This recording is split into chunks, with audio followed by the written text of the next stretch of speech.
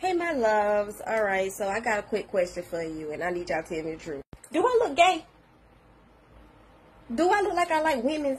See, my thing is this. I think women are phenomenal. I think they're beautiful, great creatures. But at the end of the day, I have of JJ, and that's enough for me. I don't want no more, right?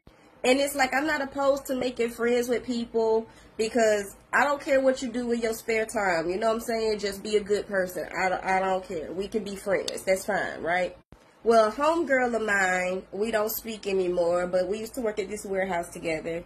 And so she she a stud, and then she come out and calls me drunk as hell, just so drunk. She calls me right.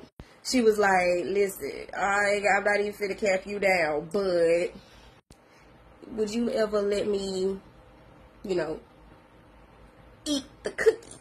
And I said, "No, ma'am. Like I'm not one of them. I'm so sorry."